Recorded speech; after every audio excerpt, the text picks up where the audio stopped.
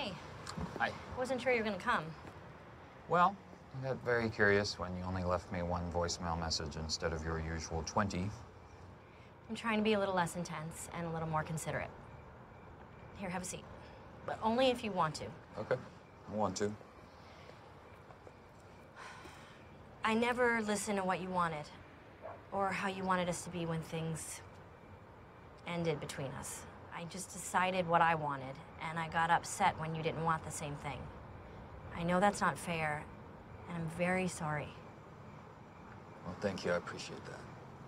If you don't want to have any more contact with me, I finally understand. I, I don't want that. Really. But I just think it's for the best. Okay. Okay.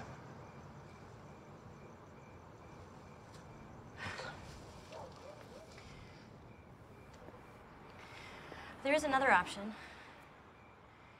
We could just say screw it and do this thing for real. What? I miss you like crazy. I think about you all the time.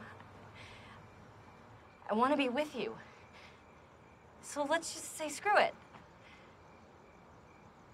No, we would have to tell Chris. Yeah. It could turn into a scandal. Yeah. It could hurt your campaign. I mean, Yes. how would how would you imagine we do this? I don't know, but I I know how I feel and I want to be with you.